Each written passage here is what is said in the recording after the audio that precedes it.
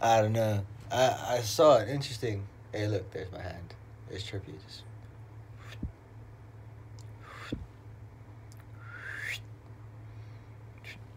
Anyway, sorry. I entertained myself a little too much with just that little motion. Uh, I'm gonna. I guess you can call me a uh, Snow White or Cinderella or. I don't know. Some some some weird person text uh sent me. He had a weird username, so I, I'm gonna I'm gonna go with Snow White in the dark since I'm in the dark.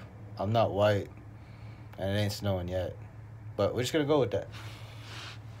But anyway, I'm half white.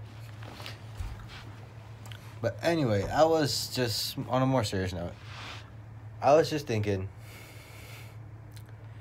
I think small campers and small RVs, more so a camper, a small camper is like a, a great investment.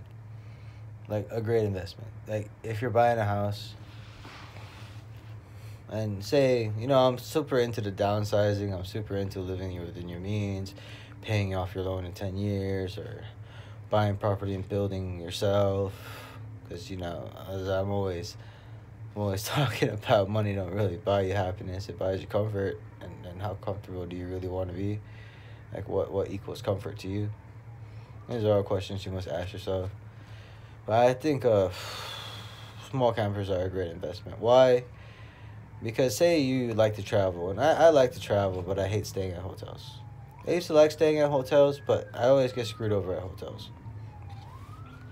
So I can name a whole bunch of times, like a whole bunch of times. So I'm pretty much done staying at hotels. I, I will suffer it out for real. I will I'll suffer it out. I'm not sure. Last experience. I mean, I'm not surprised they're still trying to charge me. I turned the notifications off on my bank account because they probably still try to charge a card that's deactivated and got no money in it. So, yeah, screw them. But when you do decide to travel, it's nice to have your own place that you ain't paying nobody for. And it's just that that security, you know, you you paying for that little bit of security. Which I think is is so important cuz you know that's what money can buy. Now that I really think about it. Now, you know, my thoughts evolve in time money does buy you some security.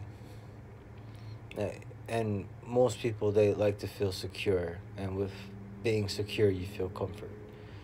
So I think the most important is that you know financial security, uh, you know security in oneself, like confidence, and there's a million in one kind of you know safety, security, all of that. There's my hand. head. Anyway, yeah, security is important. And I think most people want to feel secure. And that's where a lot of stress comes from is that that insecure feeling, whether it be insecure about your looks, insecure about your weight, insecure about your abilities, or insecure about uh, your living conditions, where you're going to eat your next meal. You know, the feeling of security brings you comfort. And I don't know. I'm probably connecting dots, but to me it makes sense in my head. Don't listen to me. I'm kind of a dumbass. But anyway, that's just my thought. And I'm just and all these videos are pretty much shot right off the cuff. There's no script. I just make it up as it comes. So bear with me. It's almost like you're having a conversation with me, but I'm the only one talking. so it's whatever. You can answer back or you know expand on it on your own time, on your own. Anyway, Jones out.